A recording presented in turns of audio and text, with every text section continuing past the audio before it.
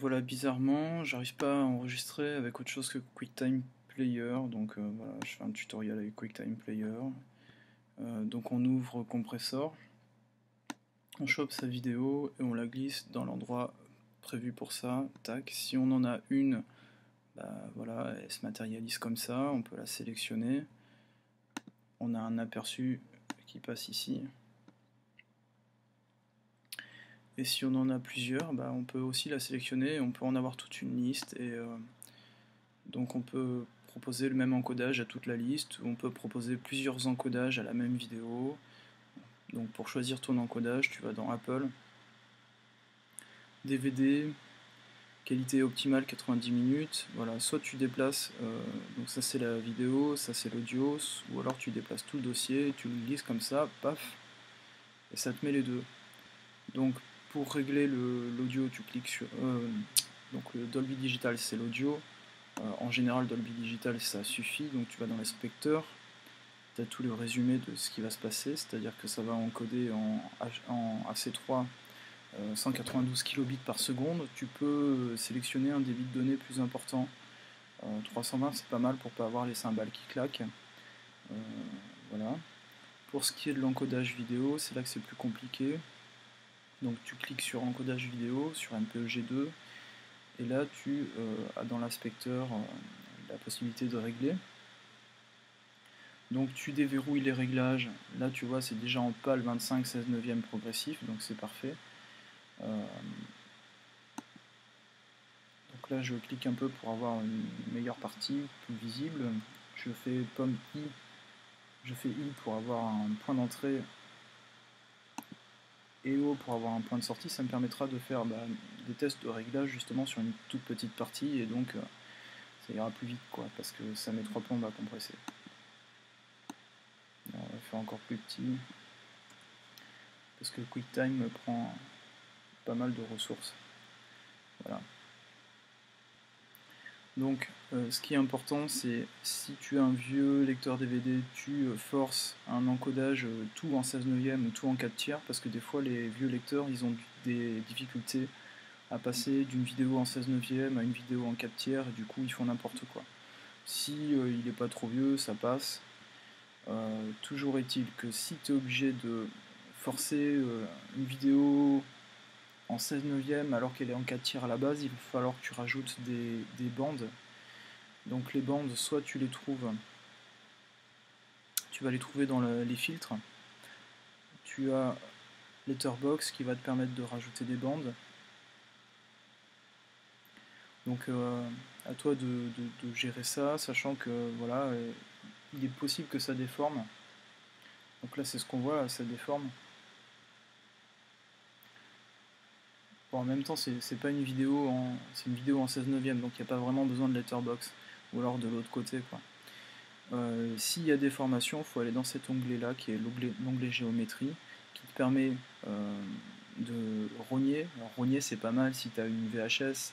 Sur les VHS, la bande de droite, la ligne de droite, elle est souvent violette, et donc tu peux la couper, mettre du noir à la place, c'est plus propre. Tu peux euh, redimensionner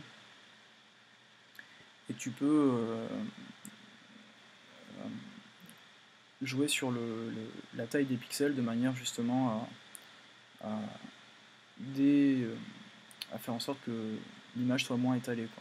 Voilà. là en l'occurrence j'ai pas vraiment besoin des bandes noires donc je vais les virer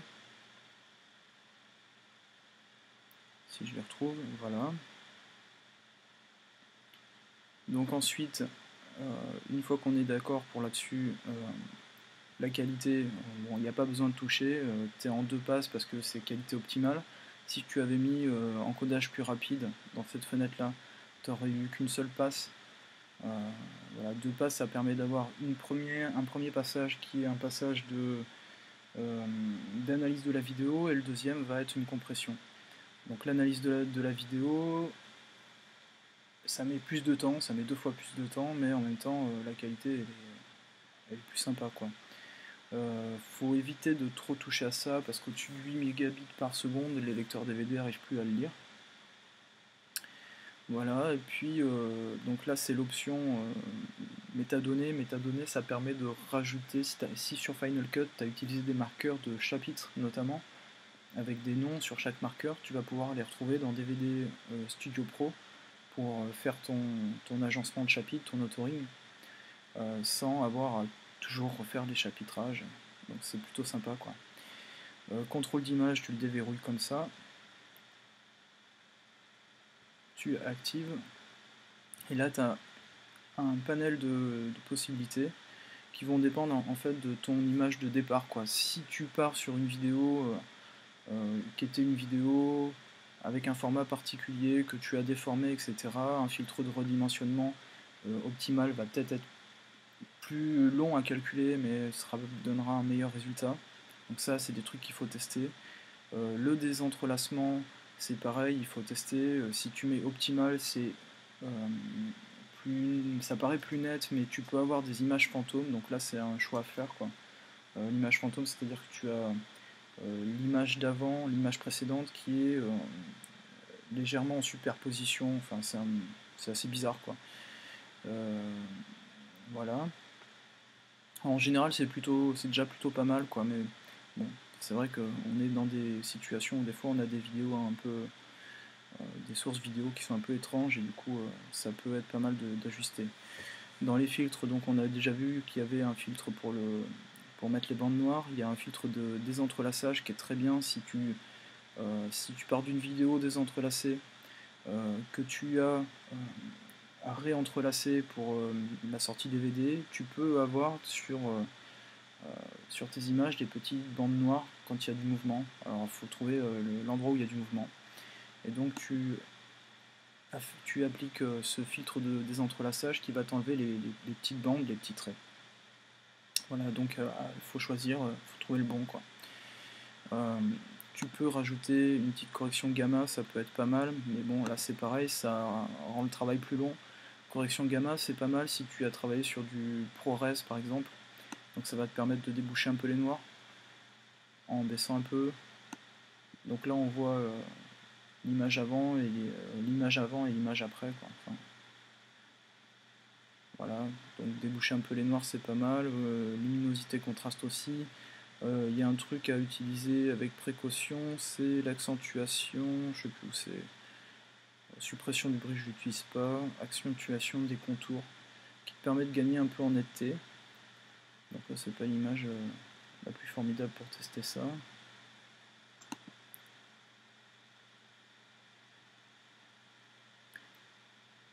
Bon, bah, j'ai pas de bol.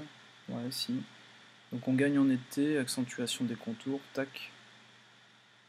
Voilà, bon, c'est visible, hein, c'est plus net, mais dès que ça commence à bouger un peu, dès que c'est l'image en mouvement, euh, ça rend pas forcément super bien. Faut tester en y allant, euh, en y allant gentiment. Et puis, euh, faut se méfier parce que ça bouffe beaucoup de ressources processeurs et du coup, ça met beaucoup, beaucoup, beaucoup, beaucoup plus de temps. Voilà, déjà que c'est long. Donc une fois que tu es à peu près satisfait de tes réglages, donc tu peux euh, les enregistrer, tu vas te faire un, paramètre euh, personnalisé, tu, tac, tu peux le balancer dans les personnalisés, ça, devient, ça, ça te permettra de l'utiliser à chaque fois. Merde, je fais n'importe quoi. Ah zut. Ah bah voilà. donc qualité optimale, mais moi je vais prendre euh, encore plus rapide parce que sinon ça va prendre trois plombes. Voilà. Une fois que tu es satisfait de tes réglages, tu sélectionnes.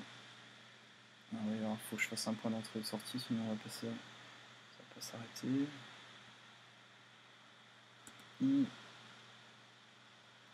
Qu'est-ce que c'est là?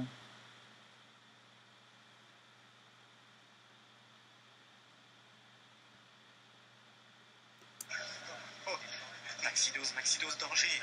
Il faut te ressaisir. Concentre-toi, concentre-toi. Oh. Voilà. Donc une fois que tu es satisfait de tes deux réglages, tu les sélectionnes. Oh là, que s'est-il passé? Ah oui. Bon, tu choisis une destination, tu vas dans cible, destination, là je vais le mettre sur le bureau, ce sera plus pratique. Et puis tu soumets en donnant un nom à ton encodage. Ça c'est un test que j'avais fait avant. Voilà, donc là tu peux voir ce qui se passe, c'est-à-dire tu as un traitement AC3, donc c'est l'audio qui est assez rapide, et le traitement de la vidéo. Normalement il te met encodage numéro 1 et ça met 3 plombes, ensuite encodage numéro 2 et ça met 3 plombes aussi. Une fois que c'est fait, tu fermes compressor et tu ouvres Toast. Et normalement, Toast, il va te permettre de gérer ces fichiers-là. Donc le fichier compressé, c'est le M2V, ça c'est ton fichier vidéo que tu vas glisser dans Toast. Et Toast te répond que bah, il n'y a pas l'audio. C'est normal, c'est démultiplexé, donc tu trouves l'audio. Donc un fichier AC3 ou un fichier AIFF au choix.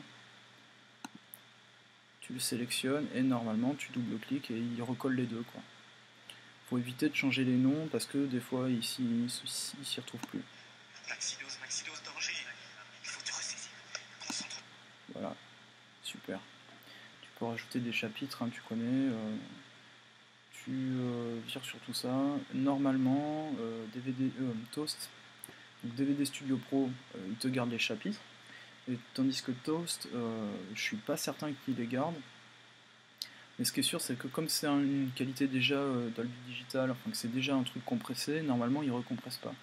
Donc euh, ça c'est pour lancer l'insertion du disque et euh, lire les éléments à la suite pour pouvoir faire une boucle. Et ensuite on va graver, on va faire une image disque parce que j'ai pas de graveur. On grave et ça va aller très vite parce que c'est déjà compressé, donc il ne recompresse pas. Il se contente de multiplexer, c'est-à-dire de recoller Deu de Uirás,